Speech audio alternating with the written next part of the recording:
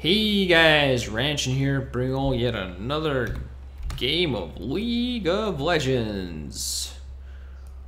This time, not Korean, but North American Challenger solo queue commentary because, you know, we all love the Americans. We all love the Yanks and their wild style goodness.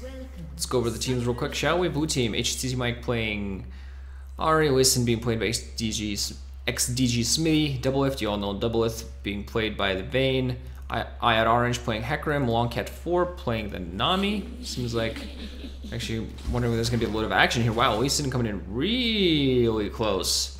Actually granting Janna some gold, they're actually smiting the Spiderling, but granting Janna a bit of gold just by being harassed. So Janna's going to say thank you. She's going to get charmed, but I don't think they can turn that and make anything out of it. They cannot, no sir.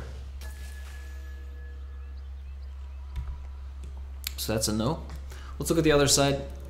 Lucian being played by Hi I'm Gosu, actually a fairly popular streamer and AD, car AD carry player, very well known for his Vayne. Big Ol Ron playing the Lissandra top, Ice playing the Janna, Wahula Hula playing the Elise, and Chipotle Hunter playing the LeBlanc. And it seems like Red Team is actually going to take advantage of the whole I can take Gromp early and get level 2 on one of my dudes thing.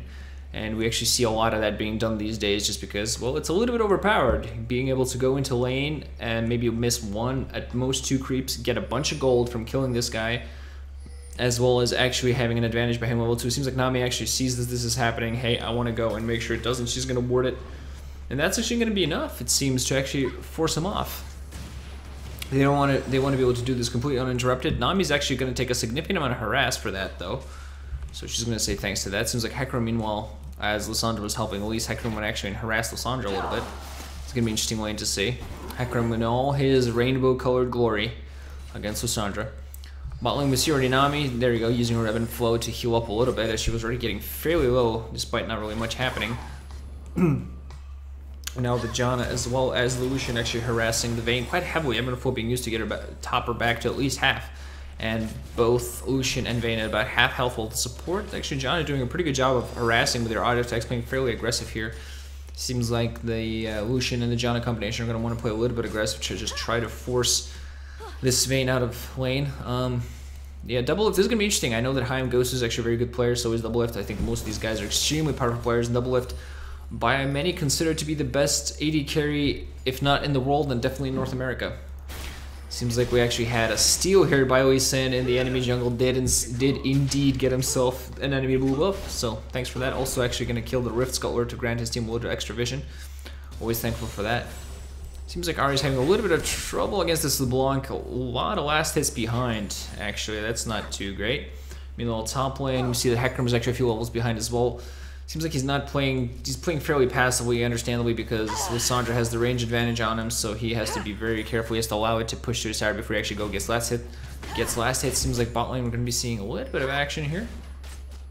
At now in his own jungle, oof, Lucian actually to go in and oof, getting a nice bit of harass there, both by utilizing his Lightslinger and by, by using the Piercing Light. Unfortunately, Vayne didn't have Condemn, or else she could have maybe stunned him into the wall and unfortunately she just did not have the capacity to do that. Ahri, meanwhile, didn't actually... Oh, bloody hell. That's why Ahri's going back home. She didn't get her blue buff. Somehow, unfortunately, some sort of miscommunication probably there by blue team. Perhaps he accidentally killed what he didn't want to kill, and that's what happened. Meanwhile, Vayne gonna get a little bit of trouble. Gonna get...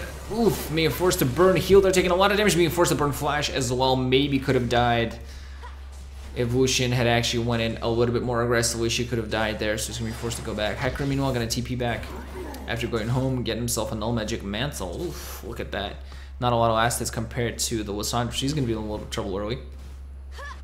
And it seems like bot lane actually also going to be trouble mid lane. Ahri actually going to get rooted. No, no more follow-ups here from LeBlanc, which is already doing a great job of really harassing her opponent and forcing her back. Vayne's finally going to come back to lane. We're going to see whether she can actually do something about it here. Just still only level 3.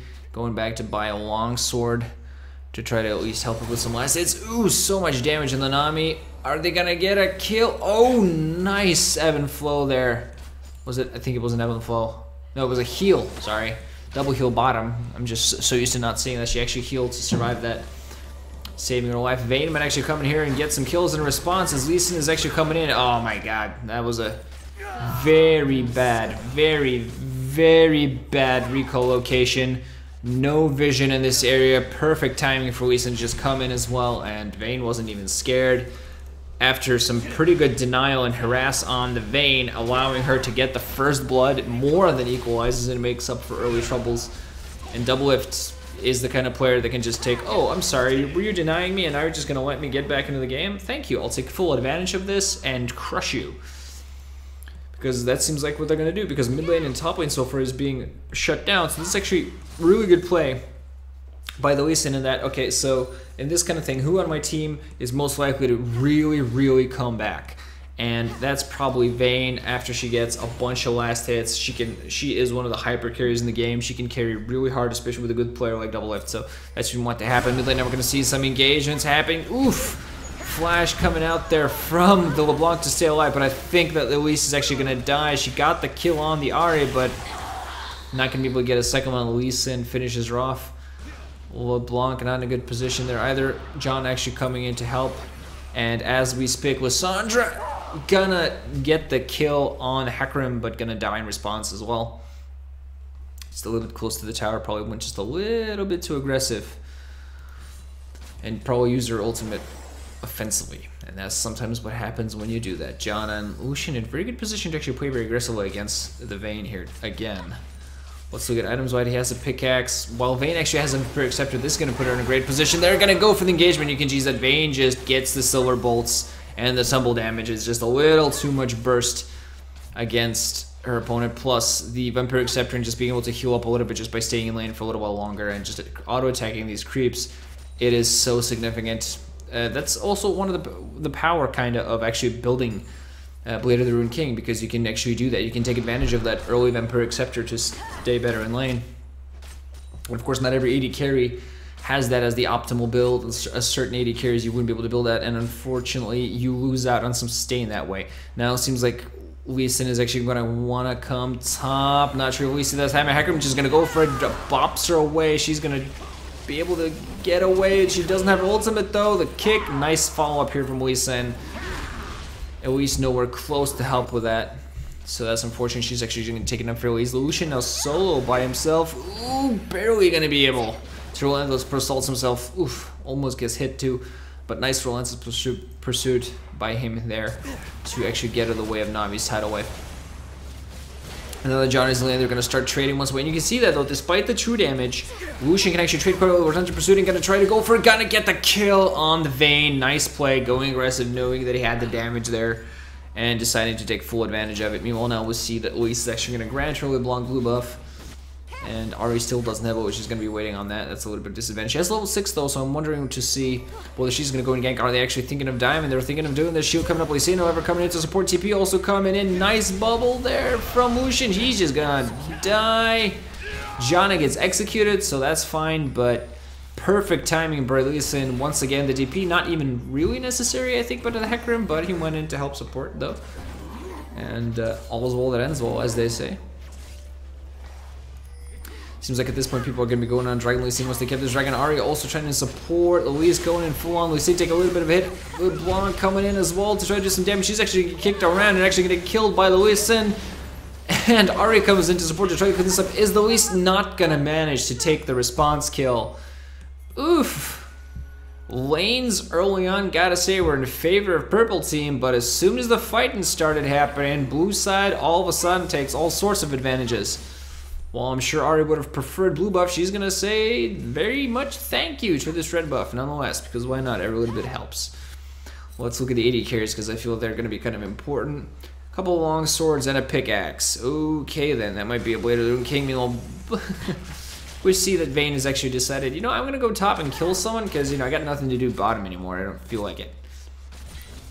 Might actually be a rotation because Nami's there with him too, so decided, hey, let's just rotate against this Lissandra because she's kicking ass against Hecarim, so there's a nice, interesting response to that TP earlier. She's going to be forced to just push it out. She's actually has three kills and more more or less than Lucian at this point, so it's going to be rough. I'm wondering, I think the red team is actually going to be able to take this in response. Oof, LeBlanc almost getting the Nami there, forcing him to pop heal, but that's okay. They are going to get the dragon, though.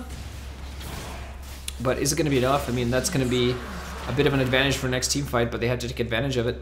Actually, didn't peek at the items. She does have her Bilgewater Cutlass. It's not too far away from Blade of the Ruined King. Once that happens, Vayne's going to be super strong, so they're going to have to play careful at that point. Lissandra, yeah, Fiendish Codex and and uh, Forbidden Idol, not, not too much else yet.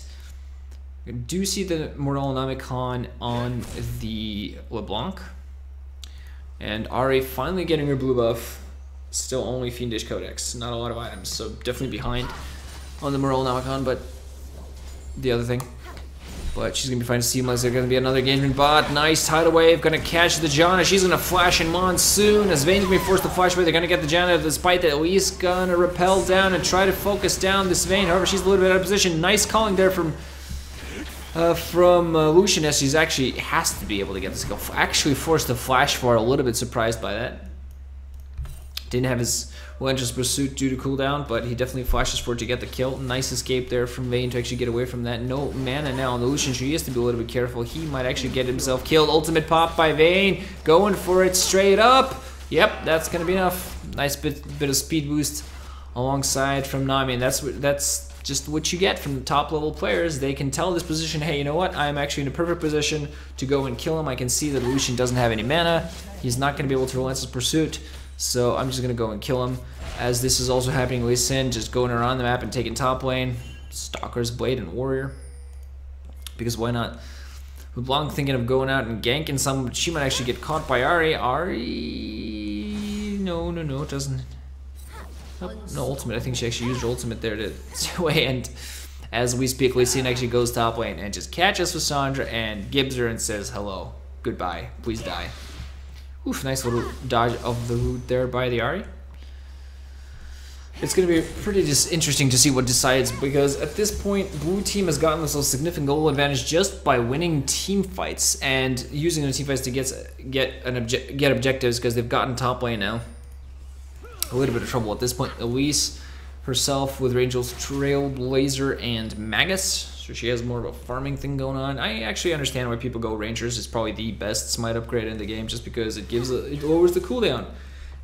And it AoE stuns all damages and stuns all the creeps. That's kind of nuts. It's even good for pushing when you really think about it now. Willy Blanc wants to go for it a little bit. Slow when the Zephyr coming in. Is she going to go for it all the way? Is there going to be a tomb? There is going to be a tomb. Is going to be enough damage to actually take down the Hecarim? Yes, Janna gets the kill. Not exactly the guy you want to get the kill, but you know, you'll take it no matter what way you can. Now Lucian's to be in trouble here. Bottom, yep, easy kill there. Once again, Vayne getting an ultimate pop and all. They're both going and just more than enough damage. And the fact that Vayne gets it mm, quite decent speed boost when she uses her ultimate and runs towards the opponent is actually quite significant there as well. Janna actually doing a little bit of damage. Zephyr, she might actually die for this because this is a little bit risky. Nice bubble there from Nami. That's going to guarantee another kill. Is actually Doublelift going to get yet another one. Hecarim actually TPing. That's going to be a double kill. And that was actually three kills there for him. Hecarim goes in. Are they almost feeding the Vayne four kills? Is getting a little bit out of control, Vayne, at this point in the game.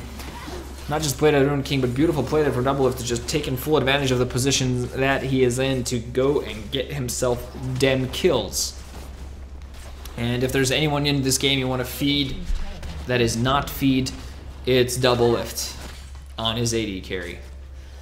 Yikes, yikes, yikes. Especially one as strong as this. Ooh, Ahri, she gonna go flash in, but nice flash response by LeBlanc. She is probably gonna die to the Lee Sin though. Yes, she is dominating at this point, but still a nice game, nice gameplay.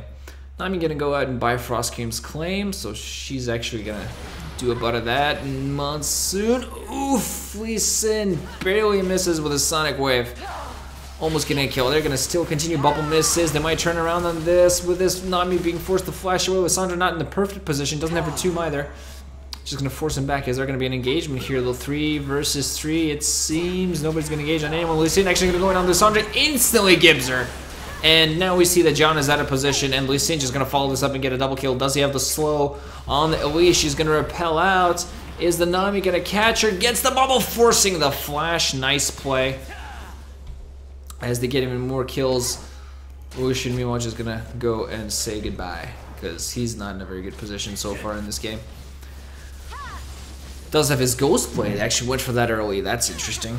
Don't often see a Ghost Blade start from AD carries, but you know, now that it's been upgraded and actually possible to get AD carries. Nice play, but unfortunately misses the root due to Ahri using an ultimate. Charm doesn't hit. LeBlanc can't go in again. Ahri actually going to use ultimate to position herself in a way so she's a little bit safer.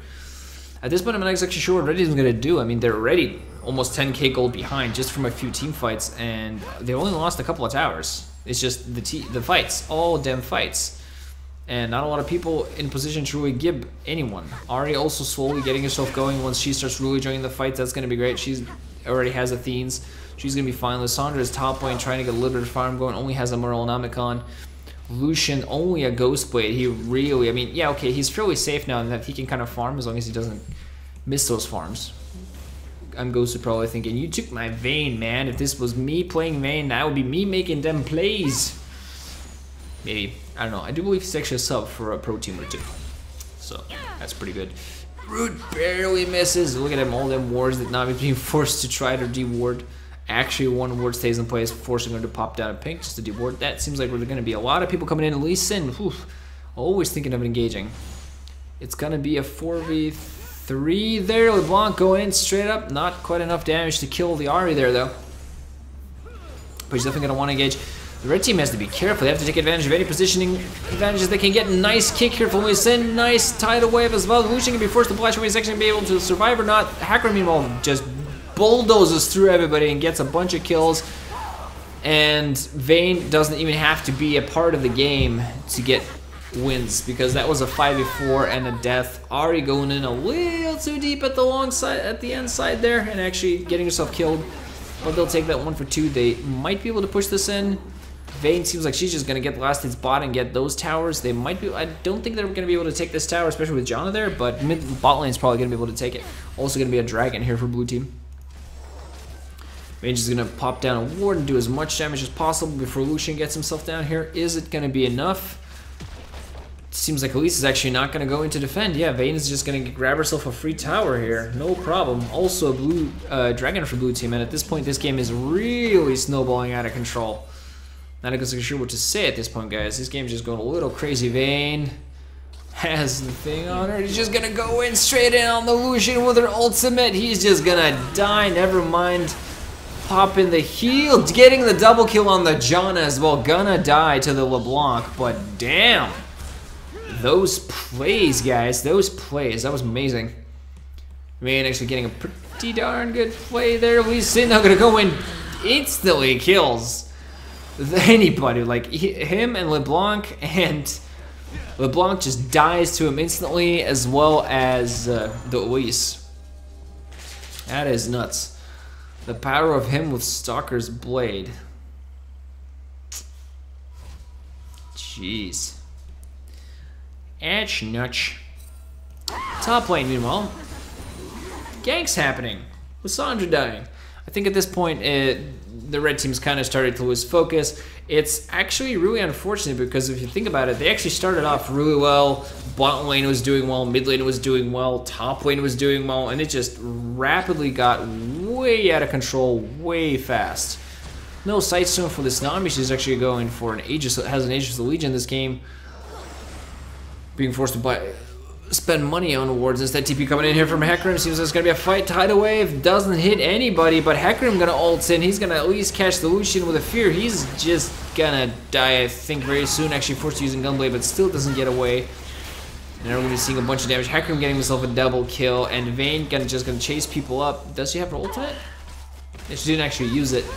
Now we see she's actually still not gonna pop it. She's gonna try to. Get there we go. Ultimate goes off. If she really goes in at this point, has an exhaust on her, tumbles away. Nice condemn there to get the Lissandra. Is she gonna get a triple kill? Does she have enough? Gonna run in and follow. Unfortunately, nice juke there from LeBlanc to not to de deny the triple kill. But at this point, I still think Vayne is a little bit ridiculous.